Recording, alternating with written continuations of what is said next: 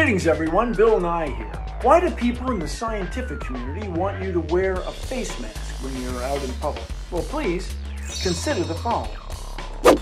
Face masks, like this one, prevent particles from my respiratory system from getting into the air and then into your respiratory system. Blocking the movement of air is an old trick. Here's a scarf. It blocks the movement of air around my throat, helps keep me warm.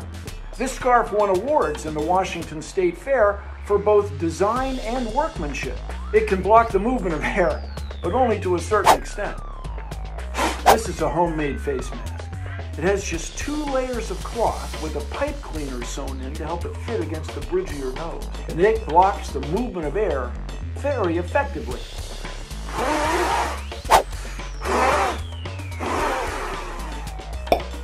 You're wearing one of these, you're protecting yourself and those around you. Here's an N95. These are made to block particles in the medical environment and when you're out mowing the lawn. This one's not sterilized, but it's pretty effective. So, the reason we want you to wear a mask is to protect you, sure.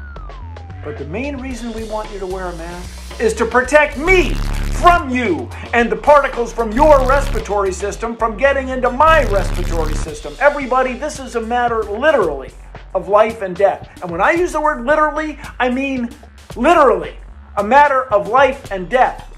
So when you're out in public, please wear a mask.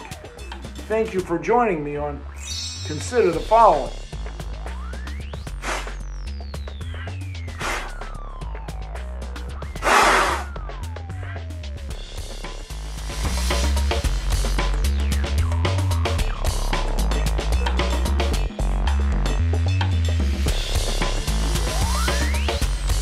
All right, pop quiz. Do you know which countries have the highest carbon emissions or how long it took Mariah Carey and her producer to write All I Want for Christmas? If not, then you should definitely subscribe to Now This's first newsletter, Know This. You can sign up right here at the website below.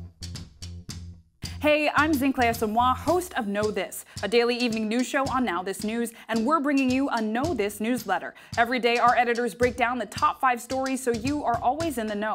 Each night, you can get the biggest breaking news, politics, culture, and entertainment stories straight to your inbox. Find out why stories trending online are generating so much buzz, and wind down your day with the stories that matter to you. What's more, Know This gives you a special edge, including the little known facts from each story that you need to know. We'll give you context on why new policies and innovations matter, but don't worry, we keep it fun too. There are gifts, puns, and plenty of lighter stories to give you talking points at dinner tonight.